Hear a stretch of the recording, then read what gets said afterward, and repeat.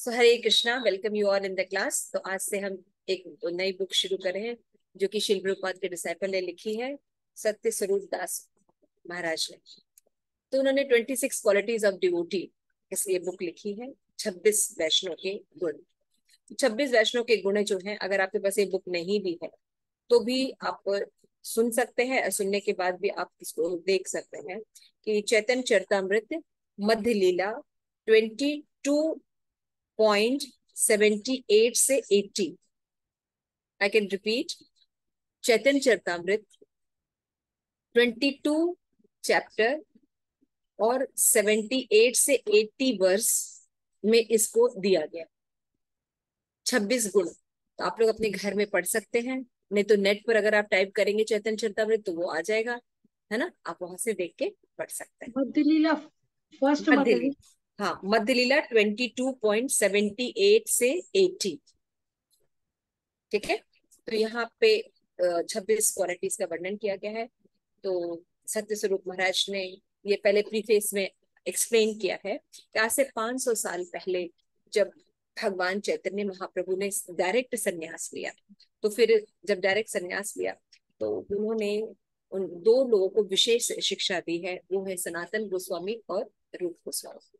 तो श्रीपाद सनातन गोस्वामी को उन्होंने वैष्णव धर्म के बारे में बहुत डिटेल में बताया और साथ में वैष्णव के जो व्यवहार है या वैष्णव के क्या लक्षण होने चाहिए, इसके बारे में भी उन्होंने बताया।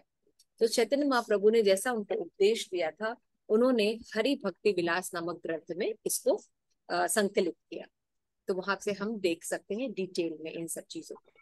और शिल्पाद रूप गोस्वामी ने जो शिक्षा प्राप्त की, उसको भक्ति रसामृत सिंधु नामक बुक में संकलित किया चैतन्य महाप्रभु की टीचिंग्स को तो लेकिन मॉडर्न टाइम में जो शिल प्रभुपाद जब आए और उन्होंने देखा कि दुनिया में कितनी ज़रूरत है इन वैष्णव एडिकेट्स को तो जब शिल प्रभुपाद ने इस्कॉन की स्टेब्लिशमेंट की तो शिल प्रभुपाद ने वैष्णव बिहेवियर कैसा होना चाहिए, इसके ऊपर बहुत ज़्यादा एम्फेसाइज किया और जैसा कि हम देखते हैं कि नेक्टर ऑफ़ इंस्ट्रक्शन यानी उद्देशामृत और भक्ति रसामृत सिंधु, दोनों में क्या है? इन चीज़ों को एक्सप्लेन किया गया, बताया गया, है ना? कि वैष्णव का व्यवहार कैसा होना चाहिए, कैसे एडिकेट्स को पालन करना चाहिए। तो श्री ने जब इतना एक्सप्लेन कर दिया था तो स्वरूप दास लिखते हैं कि मैं, मुझे बुक क्यों लिखनी पड़ रही है? मुझे बुक में क्यों एक्सप्लेन करना पड़ रहा क्योंकि श्री प्रभुपाद ने उनको निर्देश दिया था कि वैष्णव जन की जो क्वालिटीज है, इनके बारे में अच्छे से पूरी डीलिंग होनी चाहिए। क्योंकि आगे चलकर जब हम बड़े बड़े मंदिर बना लेंगे, है ना? बड़े बड़े ग्रुप्स बन जाएँगे तो उसमें किस तरह से आपस में व्यवहार रखें? कैसे रखें? क्वालिटी क्या डेवलप करे? कैसे डेवलप करे? वो क्वालिटीज क्या होती हैं? उनके बारे में जानने के लिए एक निश्चित एक कुछ बुक होनी चाहिए, जिससे कि लोगों को मार्गदर्शन प्राप्त हो। तो क्योंकि उनको शिल प्रभुपाद ने दिया था, और जैसा कि वो कहते हैं कि मैंने अपने प्योरिफिकेशन के लिए और पढ़ने वालों के प्योरिफिकेशन के लिए ये बुक लिखी है। तो हमने देखा, वो कहते हैं कि हमने देखा है कि हमने बहुत से टीचिंग शिल प्रभुपात के द्वारा पढ़ी है, जो कलयुग में बहुत इंपॉर्टेंट है। जैसे कुंती महारानी की शिक्षाएँ हैं, भीष्म की स्तुतियाँ हैं शिल प्रभुपात ने इसको शॉर्ट फॉर्म में भी दिया है और जब इनके ऊपर बात की गई है तो इन्होंने इसके ऊपर लेक्चर्स दिए, है ना? उसी तरह से शिल प्रभुपाद ने वैष्णो एडिकेट्स के ऊपर भी बहुत से लेक्चर्स और लेटर्स दिए हैं। उन सब का संकलन करके उन्होंने इनको इस बुक के फॉर्म में दिया है। ताकि आने वाली जो हमारी कृष्णा कॉन्शियस जनरेशन है, जैसे हम लोग हैं तो हम लोग लाभान्वित हो सके और चीज़ों को अच्छे से समझ सके।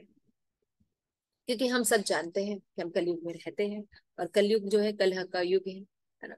इसमें जो जितने भी लीडर्स हैं रोल मॉडल्स हैं, उनको कुछ नहीं पता, क्योंकि वो अंधे हैं, है ना?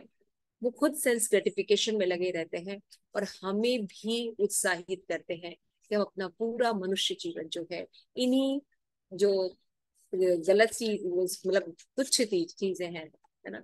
जो पशुओं के तुल्य जीवन के लिए उपयोगी है, उन्हीं में आहार, निद्रा, भय मैथुन में ही अपना पूरा जीवन जो है वो तो इन सब बातों को हम जब समझ रहे हैं तो इन बातों को भी समझना बहुत ज़रूरी है कि हम इससे निकल कैसे सकते हैं।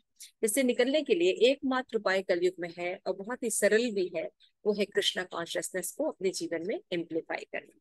तो किस तरह से हम उसको करें इम्प्लीफाई करें?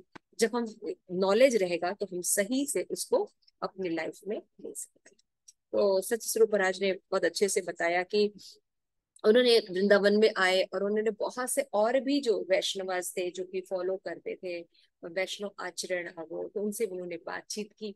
तो उन्होंने पूछा कि आपको क्या लगता है कि शिल्प ने जो इस्कॉन एस्टेब्लिशमेंट की है, इसका आगे फ्यूचर क्या है? तो ज़्यादातर वैष्णवाज ने उनको यही मार्गदर्शन दिया कि संस्था ऑर्गेनाइज करना इट्स इजी टास्क, लेकिन उसको सरवाइव करना बहुत मुश्किल होता है और ये सरवाइव केवल वैष्णव गुणों के आधार पर ही हो सकता। है इसीलिए अनुगत को गुरु महाराज ने स्टैब्लिश किया। अनुगत प्रोग्राम होना चाहिए। उसमें क्या होना चाहिए? लीडर को सेवक होना चाहिए। और जो उसको अच्छा नॉलेज होना चाहिए, खुद अच्छे से थोड़ा बहुत प्रैक्टिस करता हो, क्योंकि देखिए शुद्ध भक्ति को इम्प्लीमेंट करना इट इज़ वेरी डिफ़िकल्ट है ना? ऐसा नहीं कि हर जो पार्लर वैष्णव जो हम प्रैक्टिस कर रहे हैं, वो शुद्ध भक्त हो। जैसे मेरी बात है कि हम आपको को थोड़ा सा सेवा प्रदान कर रहे हैं, गुरु महाराज के कृपा से तो ज़रूरी नहीं कि मैं शुद्ध भक्त मैंने बहुत सी त्रुटियाँ होंगी। लेकिन सिद्धांतों को ठीक से समझा हो, पालन करने की कोशिश में है तो आप उनको सुन सकते हैं, है ना? क्योंकि वो क्या करते हैं, गुरु की बातों को ही हमें सिंप्लीफाई करके बताते हैं। और क्योंकि वो प्रैक्टिस कर रहे हैं तो हमें सरलता से बता सकते हैं कि हम किस तरह से कृष्ण कॉन्शियसनेस को, जो कि इतना इम्पोर्टेंट एस्पेक्ट है, और इसको किसी भी समाज में प्राथमिकता प्रदान नहीं न कोई एजुकेशन सिस्टम में, ना ही कोई घर में, कहीं पर भी इसके बारे में लोगों को ठीक से जानकारी ना होने के कारण कोई भी प्राथमिकता नहीं। तो शिल प्रोपा ने इसकॉन को स्टैब्लिश किया कि अगर आपके पास नहीं है तो आप कृष्णा को ऐड कीजिए। है ना? हम ऐड कर सकते हैं। और इतना सुंदर व्यवस्था है। हम सब जानते हैं कि भक्ति जो है युक्त वैराग्य है रूप गोस्वामी ने इसको स्टैब्लिश किया। कि हमें भक्ति करने के लिए अपनी पोजीशन अपने स्टेज हमने जो भी आश्रम में है, उसको छोड़ने की ज़रूरत नहीं अगर हम विद्यार्थी हैं, अगर हम गृहस्थ हैं, हम किसी भी सिचुएशन में हैं, हम भगवत भक्ति कर सकते हैं बिना स्थान और बिना अपनी स्थिति को चेंज किए। खाली अपने जीवन में हम कृष्ण कॉन्शियसनेस को ऐड कर ले और अपने जो वरिष्ठ भक्त है, जो कि श्रेष्ठ है भक्ति में, उनसे हम मार्गदर्शन लेते तो क्या होगा, हम बहुत आसानी से अपना ये जो नॉर्मल जीवन जी रहे हैं, उसको ही थोड़ा सा, थोड़ा बहुत सिंप्लीफाई करके हम क्या कर सकते हैं, भगवत भक्ति करके भगवत धाम जा सकते जो कि मनुष्य जीवन का लक्ष्य है। लेकिन बाकी लोगों को ये बातें नहीं पता। वो सोचते हैं केवल धन कमाना, धन से सुख मिलता है इसी में लगे है ना? और सारे जो वैल्यू सिस्टम वो बिल्कुल पालन नहीं है ना? तो आज देखिए संसार में क्या हालत हो। गई तो हम सब जानते हैं, मैं हम लोग ने सुबह के क्लास में भी चर्चा की थी, है ना, कि कितने सारे इज्म को हम फॉलो करते हैं कोई प्रजातंत्र पालन कर रहा है, कोई राज्य तंत्र पालन कर रहा है, कोई पूंजीवाद को पालन कर रहा है, कोई साम्यवाद को पालन कर रहा है। फिर भी समाज में, देश में न तो समष्टि रूप से, न तो व्यक्तिगत रूप से कहीं शांति या संपन्नता देखी जा रही है। लेकिन हम सोचते हैं कि हम ज़्यादा एडवांस है। तो श्री प्रभात कहते हैं कि इतना जो तनाव है उसको दूर करने का एकमात्र उपाय है सोशल कम्युनिज्म आध्यात्मिक साम्यवाद। यानी ये समझना ईश्यावाद से सिद्धांत है ना? हमें ये समझना होगा कि Krishna is the supreme personality और ये सारी संपत्ति कृष्ण की है। तो जब तक हम उसको भगवान की सेवा में नहीं लगाएँगे, तब तक जीव जो है प्रसन्न नहीं हो सकता। कहने में तो बड़ा आसान लग रहा है भक्त भक्त लोग हैं और भक्तों के समाज में बोलना बहुत आसान है, लेकिन आप सब जानते हैं कि इसको इम्प्लीमेंट करना कितना मुश्किल है ना? इट इज़ वेरी डिफ़िकल्ट लेकिन भक्तों के समाज में बहुत सरल भी होता है, क्योंकि वो सब लोग पालन कर रहे होते हैं तो बड़ा इजी होता है उनसे, उनके संग्रह के इसको पालन कर पाए तो इसलिए स्वरूप गोस्वामी लिखते हैं कि मैंने जो है बाकी आचार्यों से ये बात सुनी कि हमें वैष्णव एडिकेट्स या वैष्णव जो क्वालिटीज हैं, इनको ज़रूर डेवलप करना चाहिए, तभी हम इस संस्था को जैसा शिल्प को चाहते हैं, वैसा हम कर सकते हैं।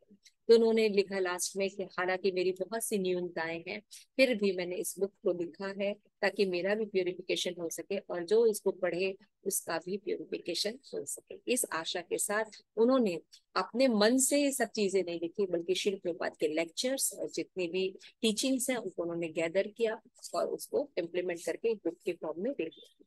तो यहाँ पे हम सबसे पहले आज इंट्रोडक्शन के कुछ पॉइंट्स हम डिस्कस करेंगे। तो जैसे हम जानते हैं कि शिल्पा ने जो इस्कॉन की स्टैब्लिशमेंट की है, ये गौड़िया जो परंपरा है, उसी के बेस पर ही स्टैब्लिश की लेकिन शिल्पोपाद ने गौड़िया जो वैष्णव पद्धति है, उससे थोड़ी सी भिन्नता इस फॉर्म में रखी। हम शिल्पोपाद प्योरली गौड़िया मठ को फॉलो नहीं करते शिल्पोपाद ने ऐसे बहुत से चेंजेस किए हैं, जो कि मॉडर्न टाइम के लिए बहुत ज़रूरी थे है ना? शिल्प प्रपात में कई एक चेंजेस किए, जिसमें से एक मेजर चेंजेस है।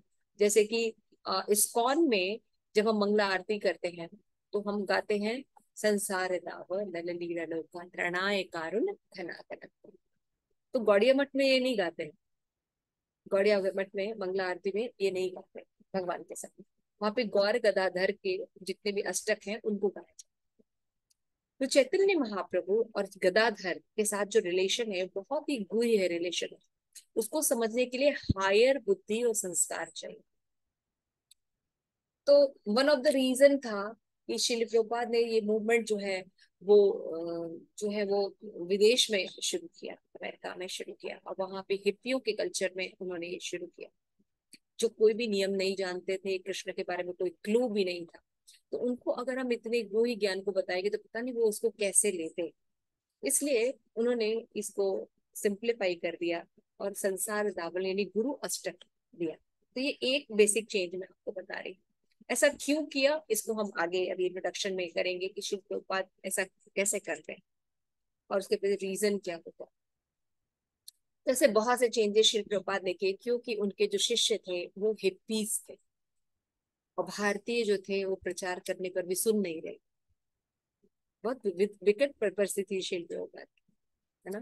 कि शिल्प प्रचार करना चाहते थे, बहुत बहुत प्रचार किया।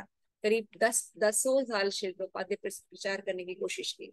लेकिन इतना ज़्यादा पाखंड भारत में था कि इसको प्रचार करना बहुत मुश्किल होता जो भक्ति सिद्धांत ठाकुर जो के, गुरु महाराज थे जिस तरह से इस इस, को स्टैब्लिश करना चाह रहे थे, इन सिद्धांतों को वैसे लोग पालन नहीं कर अपने मन से पालन कर रहे थे, जिससे कि संस्था में काफ़ी दिक्कत आने लगी तो लोग भगवत भक्ति कर रहे थे, लेकिन शुद्ध भगवत भक्ति नहीं कर रहे थे, जो कि उनके गुरु महाराज का विजन तो जैसा कि हम जानते हैं कि चैतन्य महाप्रभु ने क्या कहा था कि अगर हमें भारत में जन्म मिला है, मनुष्य जन्म मिला है तो हमें जीवन सार्थक करना चाहिए। परोपकार करना चाहिए, है ना? तो वो जब उन्होंने, चैतन्य महाप्रभु ने जब संन्यास लिया, संन्यास लेने के बाद वो पूरे भारत का भ्रमण कर रहे थे। ब्राह्मण का भ्रमण कर रहे थे और मथुरा पहुँचे। वहाँ उनको एक बहुत ही सुंदर शुद्ध ब्राह्मण मिले, जो कि माधवेंद्रपुरी के डिसाइपल थे। तो दोनों जब मिले तो बहुत प्रसन्न थे, क्योंकि चैतन्य महाप्रभु भी माधवा, मधुपुरी संप्रदाय से ही थे। आप जानते ईश्वरपुरी ईश्वरपुरी उनके गुरु थे और उनके गुरु थे माधवेंद्रपुरी तो पहले के जो पाँच से पाँच सौ साल पहले इतना इजी नहीं था, हर किसी से मिल लेना या हर किसी के साथ डिस्कस तुरंत बातचीत कर लेना, जैसे आज नेट के जमाने में हमें होता। रेयरली कोई मिलता था रेयरली कोई किसी के पास जाता था। तो जब इन्होंने उन ब्राह्मण को मिले, जो कि माधवेंद्र के शिष्य, बहुत प्रसन्न हुए। और क्योंकि दोनों का सेम टेस्ट था तो दोनों ने बहुत सी बातें की। चैतन्य महाप्रभु की बातें कर, करके ये नाचते थे, गाते थे और हाईली अपने आप को एंजॉय करते थे। और चैतन्य महाप्रभु ने माधवेंद्रपुरी के लिए बहुत सुंदर श्लोक लिखा कि धर्म स्थापना हेतु साधुर व्यवहार, पूरी गोसाइन ये आचरण से ही धर्म उन्होंने बताया कि डिवोटीज जो होते हैं, जो भगवान के प्योर भक्त होते हैं उनका व्यवहार कैसा होता है? उनका व्यवहार ऐसा होता है कि समाज में धर्म की स्थापना हो सके, है ना? तो उसमें जो बेस्ट एग्ज़ाम्पल है समाज में धर्म की स्थापना करने के लिए वो है माधवेंद्र माधवेंद्र पुरी। तो माधवेंद्र पुरी जो है, उन्होंने जिस तरह से व्यवहार किया एक्चुअल में वही धर्म का सार है। इसको समझने में बहुत आसानी हो जाती है। तो श्री प्रभुपाद ने थोड़ा कीजिए माता जी स्क्रीन अप कीजिए। शिल प्रपात ने यहाँ पे मेंशन किया कि जो डिवोटी होते हैं, उनका जो व्यवहार होता है, वो मनुष्य जीवन के ट्रू पर्पस को स्टैब्लिश करने के लिए होता है। और माधवेंद्र पुरी जो है, उनका जो व्यवहार था, वो धर्म के सार को प्रेजेंट करने वाला तो इसलिए परपोर्ट में भी बताते हैं कि श्री प्रपात बताए हैं कि जो महाजन होते हैं, है ना, वो क्या करते हैं? वो जो परंपरा से ज्ञान होता है, उसको फॉलो करते और चलते और हमारा क्या कर्तव्य है बद्ध जीवात्माओं का? हमें ज़्यादा समझ में बात नहीं आएगी। हमें क्या करना चाहिए? महात्मा जो पथ पर चलते हैं, उन्हीं पथों को एज इट इज़ चलना, है ना? तो यहाँ पे हम देखेंगे। ऊपर की तो श्री प्रपात मेंशन करते हैं कि जो नॉन डिवोटीज होते हैं शुद्ध भक्त नहीं होते तो वो लोग ज़्यादातर क्या होते हैं? या तो योगी होते हैं या तो भगवान को नहीं मानने वाले होते हैं है ना? या दार्शनिक शुष्क दार्शनिक होते हैं या आसुरिक स्वभाव के ही लगभग होते हैं है ना? तो जैसे हिरण्यकश्यपु पहले था और अभी के जैसे अभी के जो साइंटिस्ट समाज है उनमें जैसे एंथ्रोपोलॉजिस्ट होते हैं जैसे डार्विन है ना? उनका वो, वो ऐसे फुलिश लोग जो होते हैं वो हमारे समाज के अगुआ लीडर बने वो ऐसे दर्शन प्रेजेंट करते हैं हम कौन है? हम बंदर के संतान। हम कहाँ से आए? हम बंदरों से आए। तो इस फिलोसफी देने का मतलब ये है हमारी जो इतनी सनातन धर्म, इतना जो उत्कृष्ट सनातन धर्म है, उसको निम्न करके प्रेजेंट करना। क्योंकि आप सब जानते हैं, आप जब ने हिस्ट्री पढ़ी है कि मैरकाले जो थे, वो जानते थे, उन्होंने सर्वे किया, उन्होंने बताया, भाई इंडिया पर अगर राज्य करना है, भारत में अगर राज्य करना है तो सबसे इम्पोर्टेंट है कि इनके धर्म के साथ इनको विच्छेद किया जा जाए क्योंकि इनका धर्म इतना स्ट्रांग है ना, कि अगर इनके धर्म को जोड़ के रखा गया इनसे तो इन पर कभी भी शासन नहीं किया इन पर शासन कब कब कर सकते हैं? जब इनको धर्म से अलग कर तो इस तरह की फिलोसफी जब ये पढ़ेंगे, हम बंदर की संस्थान है, हम यहाँ से आए तो ऑटोमेटिकली ये अपने धर्म को नहीं फॉलो करेंगे। तो प्रभुपाद बताते हैं कि जो लोग होते हैं आजकल, है ना, जो बद्ध जीवात्माएँ होती हैं वो ऑलरेडी इतने हायर प्रिंसिपल को नहीं समझ पाते।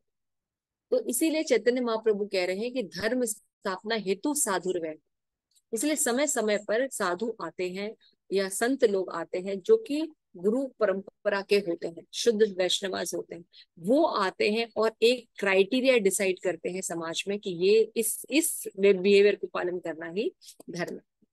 जैसे कलयुग का धर्म क्या है? बहुत तपस्या करना अर्चा विग्रह की सेवा करना ये धर्म नहीं।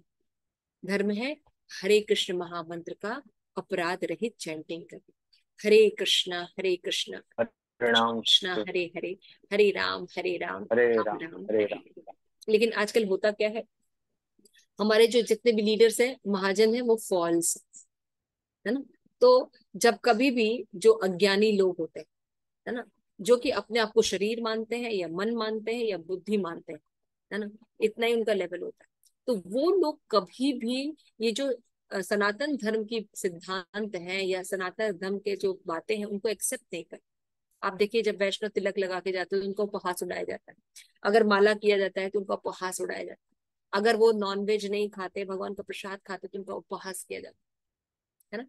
तो ये उपहास करने की उनकी प्रवृत्ति होती और भगवत गीता में शिल प्रपात लिखते हैं कि जो लोग भगवान की भक्ति नहीं करते, वो वैष्णव का या वैष्णव परंपरा का उपहास करते इसका उनको रिज़ल्ट क्या मिलता है? इनका उनको दुख क्या मिलता है कि वो अनेक पापों और अपराधों से ग्रस्त रहते हैं। इसलिए आदि दैविक आदि भौतिक और आध्यात्मिक कष्ट से सदैव ही हमेशा वो दुखी रहते तो ये मेन कारण है लोगों को इतना दुखी, इतना तनाव युक्त इतना अनहैप्पी और विध्वंसक परिस्थिति में खड़े रहने की, है ना?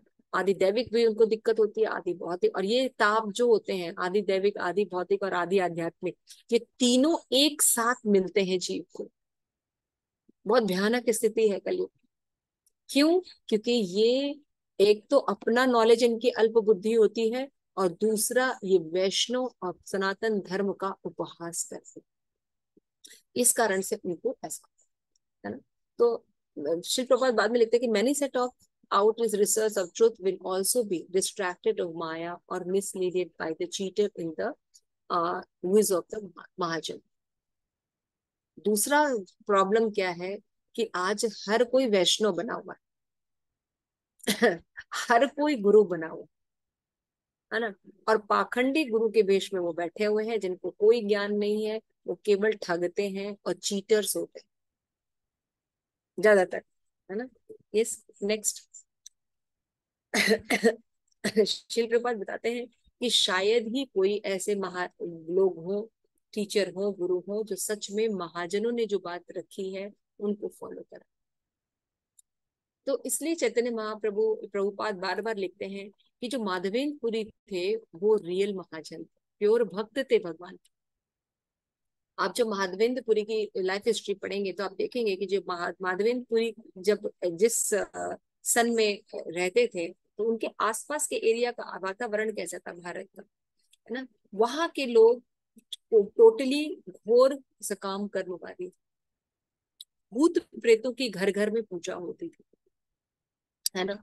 तो उस समय उन्होंने जो किया होलिस्टिक हमें वैष्णव धर्म स्थापित करके दिया उन्होंने कहा Krishna is the supreme personality of Godhead और डेमी गॉड की अगर आपको वर्शिप करनी है, देवी देवताओं की आपको पूजा करनी है तो आइए हम बताते हैं कि वेद में किस तरह से बताया गया, उस तरह से आप पूजा की कीजिए। ये जो जितने भी देवता हैं, है ना? दुर्गा है, काली है, ये सब भगवान कृष्ण के प्रतिनिधि हैं। तो उनको भगवान के दास के रूप में रखकर आपको सेवा करनी चाहिए। तब आपके जीवन में बरकत हो जाएगी। जैसा कि श्रीमद भागवतम में बताया गया कि देवी देवताओं को पूजा करने की भी विधि है। देवी देवता भगवान के भक्त होते हैं और भगवान के अधीनता में कार्य करते हैं। तो अगर आप मान लीजिए कोई भोग लगाते हैं और डायरेक्ट देवी देवताओं को लगाते हैं, है ना? तो वो कोई भी भोग देवी देवता स्वीकार नहीं करते, है ना? आप देखते हैं श्रीमद भागवतम में जड़ भरत को जब वो मार रहे थे, बलि चढ़ा रहे थे तो काली खुद प्रकट होके सारे डाकुओं को मार दिया। यानी काली माँ ये सब नहीं प्रसन्न करते, है ना? लेकिन पाखंडता के कारण कई चीज़ें जोड़ी जाती जैसे कि आप सब जानते हैं कि अभी सावन चल रहा है है ना? तो शिव जी, वैष्णव नाम यथाश्रम सभी वैष्णव में सबसे श्रेष्ठ है है ना? लेकिन उनको कहाँ से जोड़ दिया जाता है? कि वो गांजा पीते हैं, वो शराब, जो शुद्ध वैष्णव होंगे, वो कैसे गांजा और शराब और ये सब चीज़ पिएँगे और मान लीजिए उन्होंने कोई अवतार के लिए कोई विशेष चीज़ धारण की है तो ऐसा जो वो करते हैं, वो नहीं करना चाहिए, जो वो कहते हैं, वो पालन करना चाहिए। जो साधु संत हैं या जो महाजन है, वो जो कहते हैं उसका पालन करें वो जो करते हैं, उनको हमको नहीं करना है। जैसे कि भाँग के साथ धतूरा भी ऑफ़र किया जाता है। तो यहाँ पे प्रश्न ये उठता है कि भाई धतूरा क्यों नहीं खाते? अगर मान लीजिए भाँग आप कहते हैं कि शिव जी का प्रसाद चलिए आप ले रहे समझ में आ रही तो धतूरा क्यों नहीं खा रहे क्योंकि उनको पता है कि जैसे ही धतूरा खाएँगे हम, मर जाएँगे, हमारी डेथ हो जाएगी। इसलिए धतूरा नहीं खाते, लेकिन भाँग ज़रूर बोलते हैं। तो ये तो मतलब सीधे सीधे पाखंड हम देख सकते हैं, है ना? तो यही शिल्प उत्पाद ने हमें एक्सप्लेन किया कि आज पाखंडी लोग हर जगह है। इसीलिए सही धर्म का प्रचार नहीं हो रहा। भगवान को बिज़नेस के रूप में एस्टेब्लिश किया जाए। तो शिल्प प्रपात बता रहे थे, इसीलिए जो प्योर डिबोटी होते हैं, उनके आचरण अधिक होते महाभारत में एक बहुत सुंदर कोट है, और ये कोट आप लोगों को समझना चाहिए। जैसे बताया है, तर्को प्रतिष्ठा श्रुतो विभिन्ना, नासेव ऋषि यस्य महत्व न भिन्न। धर्मस्य तत्व निहितम गुह्यम महाजनो ये गता इसका मीनिंग है कि जो तर्क होते हैं, है ना? जो तर्क वितर्क करते हैं ऐसा है, ऐसा नहीं है, भगवान निराकार है, भगवान साकार है, भगवान ये है, भगवान ब्रह्म ज्योति है समथिंग तो ये जो ड्राई मेंटल स्पेकुलेशन होते हैं आर्ग्यूमेंट्स होते हैं, ये भगवत भक्ति को उन्मुख नहीं होते। लेकिन जितने भी मुनि होते हैं इनमें क्या होते हैं, ये एक आर्ग्यूमेंट की टेंडेंसी होती है। एक साधु दूसरे साधु के मत से इत्तेफाक नहीं रखता। आप देखते होंगे, आप इस स्क्वायर हर जगह देख सकते हैं। जैसे आप हमारी क्लास सुन रहे हैं, हमारे बोलने का तरीका, हमारे देखने का तरीका अलग है। अभी यही बात किसी और से आप सुनिए तो आप देखेंगे उनको बोलने का तरीका, उनका एक्सेप्ट करने का तरीका अलग हो इसी को कहते हैं मति भिन्ना। है ना? तो यानी एक मुनि जो है, दूसरे मुनि के तर्कों से कभी भी सहमत नहीं होता, है ना? तो अगर हम देखें वेद को, भाई वेद तो इतना लार्ज है, अरबों, लाखों, करोड़ों श्लोक है, उनमें हम कैसे समझेंगे कि क्या करना है, क्या नहीं करना है? अपने आप तो समझ नहीं सकते। तो अगर आपको सत्य को स्टैब्लिश करना है तो क्या करना होगा? आपको आत्म साक्षात जो रिलाइज सेल्फ रिलाइज सोल है महात्मा लोग हैं, जो भगवान के प्रतिनिधि हैं, ऐसे गुरुओं की शरण ग्रहण करनी पड़ेगी ये बहुत इंपॉर्टेंट श्लोक है। और क्या करना पड़ेगा? वो जो उस समय के लिए जो नियम स्टैब्लिश कर रहे हैं, उस पथ पर चलना पड़ेगा। जैसे मैंने अभी आपको बताया, शिल प्रभुपात की है ना? तो शिल प्रभुपात भी ये बात लिखते हैं बहुत सुंदर पटपुट है इसमें। तो शिल प्रभुपात लिखते हैं कि यदि कोई व्यक्ति, है ना? यदि कोई व्यक्ति अपने आचार्यों की बातों को वर्तमान समय के हिसाब से इंटरप्रेट करके नहीं बताता तो वो सही आचार्य नहीं। अब भगवान ने एक थ्योरी वाली जो भगवत गीता में बताई, ठीक है ना? भगवान ने बता दिया, एक थ्योरी बता दी भोक्तारम तपसाम सर्वलोक महेश्वरम सूर्य सर्वभूता नाम ज्ञात्मा माम शांति मृक्षति एक सिद्धांत अब इसको वर्तमान में, आज के कलयुग में हम इम्प्लीमेंट कैसे करें? है ना? बहुत डिफ़िकल्ट है? तो हमारे शिल्प प्रभुपाद ने कहा है कि जैसे ही हम चैंटिंग करते हैं भगवान को ऑफ़र किया हुआ प्रसाद खाते हैं और अपने नाम के आगे दास लिखते हैं ऑटोमेटिकली ये तीनों प्रोसेस हो जाए हम ये भी स्वीकार कर लेंगे कि भोक्ता भगवान है। हम ये भी समझ जाएँगे कि भगवान ही कंट्रोलर है। और हम यही समझ जाएँगे कि हमारे बेस्ट फ्रेंड कृष्ण खाली थ्री प्रोसेस फॉलो कर। तो बताया ना शिल्प प्रभुपाद ने आज के हिसाब से कलयुग के हिसाब से। तो यही एक आचार्य की विशेषता होती है। तो ये महाभारत का जो श्लोक मैंने कोट किया it is very important shloka and uh, मैं इसको भी शेयर कर दूँगी ग्रुप पे आप लोगों को। ये ये श्लोक याद करना चाहिए। ये प्रीचिंग में it is very important to understand कि तर्क के माध्यम से शुष्क तर्क के माध्यम से परम सत्य को नहीं जाना जा सकता। लेकिन जितने भी मुनि होते हैं उनके हर के अपने ड्राई शुष्क चिंतन होता है और एक मत दूसरे मत से भिन्न। तो शुद्ध भक्ति को स्टैब्लिश करना बहुत डिफ़िकल्ट है। इसके लिए शुद्ध भक्त जो भगवान के कृपा प्राप्त होते हैं तो वो ही लोग इसको सिंप्लीफाई करके दे सकते मैंने एक, अभी शुरू में एग्ज़ाम्पल बताया कि श्री प्रपात ने कैसे गौड़िया मठ से ही स्टैब्लिश किया इस्कॉन को। लेकिन गौड़िया मठ के सभी सिद्धांतों को उन्होंने नहीं लिया गौड़िया मठ के लोग प्रीचिंग में इतना नहीं इम्पोर्टेंट देते हैं। लेकिन इस्कॉन में, इस्कॉन इज़ प्रीचिंग मूवमेंट है ना? इस्कॉन इज़ प्रीचिंग मूवमेंट तो देश काल परिस्थिति के अनुसार उन्हीं सिद्धांतों को प्रेजेंट करना इंटरप्रेट करके बताना जिससे वहाँ के लोग साइंटिफिकली सम, समझ सके चीज़ें। है ना? अब जैसे कि विदेश में जैसे श्रीमद भागवतम पढ़िए या और भी ग्रंथ आप पढ़िए तो उसमें ज़्यादातर जो एग्ज़ाम्पल दिए जाते हैं वो गाँव के दिए जाते खेत खलियान के दिए जाते अब खेत खलियान है नहीं। है ना? तो श्री प्रभुपाद ने देखे डेक्टाफोन का एग्ज़ाम्पल दिया। है ना? डेक्टाफोन को कैसे यूज़ कर सकते हैं भगवान की सेवा? है ना? माइक्रोफोन को किस तरह भगवान की सेवा में यूज़ किया जाता है इसको उन्होंने बताया।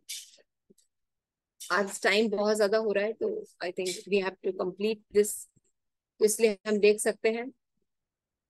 मेरे ख्याल से हम सही समझा पा रहे हैं आप लोग को? ठीक लग रहा है आप लोग को? ये सिद्धांत अच्छा बहुत अच्छा। ये सिद्धांत समझना बहुत ज़रूरी है तब आप इस बुक को एंजॉय है ना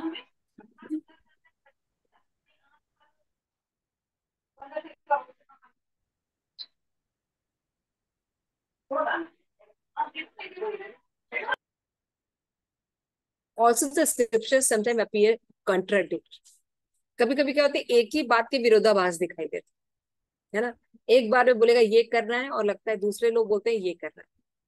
जैसे आप सोच सकते हैं कि कि गौड़िया मठ में और शिल्प्रोपात में विरोधाभास है, कोई विरोधाभास नहीं। शिल्प्रोपात ने उसको सिंप्लीफाई करके दिया, क्योंकि वो जिन लोगों को अप्रोच कर रहे थे, वो लोग इतने क्वालिफाई नहीं थे। है ना? इसलिए उन चीज़ों को मेंशन किया, जैसे संसार दावरा अगर शिल्प ने रखा तो उन्होंने सिर्फ़ एक बात पढ़ी, वो है नौवा श्लोक। गुरु अष्टक, एट श्लोक है। लेकिन नवा श्लोक इट इज़ वेरी इंपॉर्टेंट, जिसमें लिखा है विश्वनाथ चक्रवर्ती ठाकुर ने कि जो कोई भी इसको मंगला आरती में रोज केवल पठन भी करेगा, वो भगवत धाम निश्चित जाएगा। ये उसका श्रुति फल अब देखिए कितना इंपॉर्टेंट है एक एक आस्पेक्ट शिल्प रूपाद ने जो हमें दिया है। क्या लिख रहे हैं? मंगला आरती में अगर कोई व्यक्ति केवल इसको पढ़ भी लेगा सुन भी लेगा रोज तो भगवत धाम चला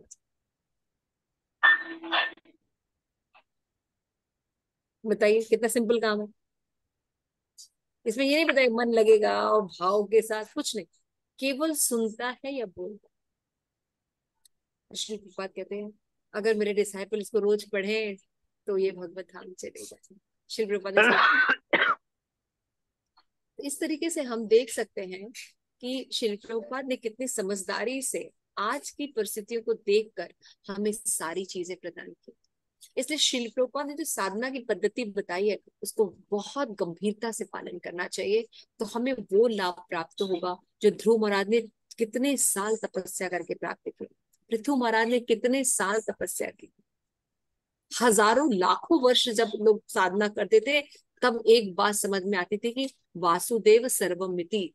ये छोटी सी बात, दो शब्द समझ में आता है कि Krishna is the supreme personality of Godhead सर्व कारण। कारण ये छोटी सी बात समझ में आती इट इज़ नॉट इजी इसीलिए जब आप देखते हैं कि नैमी शारण्य में जो ऋषि इकट्ठा हुए थे, है ना? जब परीक्षित महाराज कथा सुनाते सुखदेव गोस्वामी को, यही कथा जो है, सूत गोस्वामी ने नवी शरण में ऋषियों को बताया तो उन्होंने सबसे पहले ये बताया कि ऐसा है कि हमारी बुद्धि बहुत ज़्यादा नहीं है।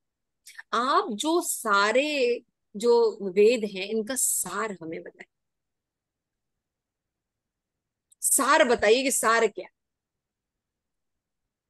तो उन्होंने यही बताया कि सभी मनुष्यों का एक ही धर्म है कि वो अधोक्षस की, अहेतु की, अप्रतिहता भक्ति करें। ये सार है। सिंपल। दो कंडीशन है, बिना कारण के और निरंतर। ये दो नियम में हमें पक्का होना। हम जो भी सेवा करते हैं, बिना कारण अहेतु की करें और दूसरा निरंतर होनी चाहिए। आज किया, कल नहीं, आज हुआ, कल नहीं। इसलिए आप हमेशा देखिए, अपना महीने में चार्ट बनाइए कि आपने, अगर आपकी भक्ति अच्छी हुई तो आपने किसका एसोसिएशन किया? या आपकी भक्ति में फॉल डाउन हो रहा है तो आपने कौन सी परिस्थिति में फॉल डाउन किया या किसका संग आपके सामने हमेशा ऑप्शन ओपन हो जाएगा। यानी अगर हम इस संग या इस परिस्थिति में रहेंगे तो हमारी भक्ति इंक्रीज होगी तो हम ज़्यादा से ज़्यादा उस चीज़ की तरफ़ जाए। यस आगे आगे। लास्ट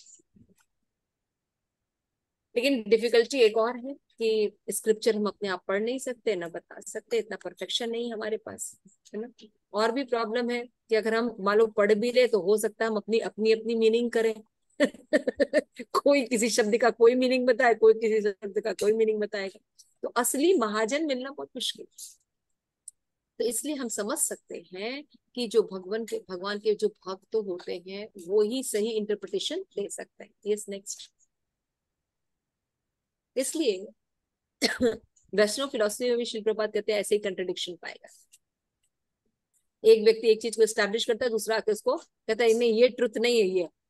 तो ऐसे में सही वैष्णव सिद्धांत क्या है, कैसे समझ में आएगा? जैसे कि जो सही गुरु के उपस्थित होने पर जैसे सूर्य निकलता है तो अंधकार अपने आप चला उसी से सही गुरु के आने पर अंधकार अपने आप चला जाता चीज़ें बहुत सरल है है ना?